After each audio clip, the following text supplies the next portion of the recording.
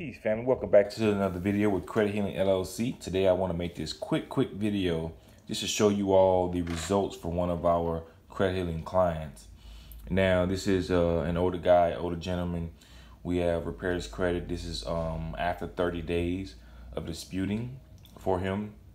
As you can see that these are, we disputed five items and after 30 days, see right here in the result, in the report, all five items were deleted. This is from Experian. So although they are from two are from the same company, these two are from the same company, they have different account numbers. Different account numbers. And this right here is IC Systems. This is Cox Communication that was deleted. Receivable uh, recovery, these are medical bills, right? So all these items were deleted from his credit report just after 30 days of disputing. So I'm letting you all know that this actually works. You can do it. All you have to do is just apply the magic that we've already sprinkled on the potion.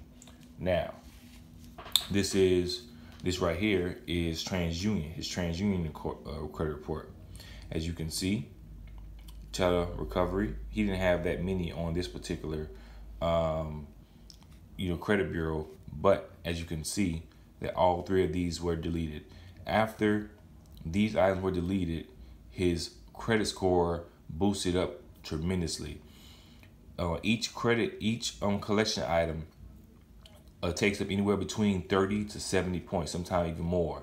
So if you if you multiply 30 or 50 times five, you know, or it give or take because sometimes the, there are various factors such as the length of the particular derogatory item, or the age of it, etc. That also is, is a determining factor.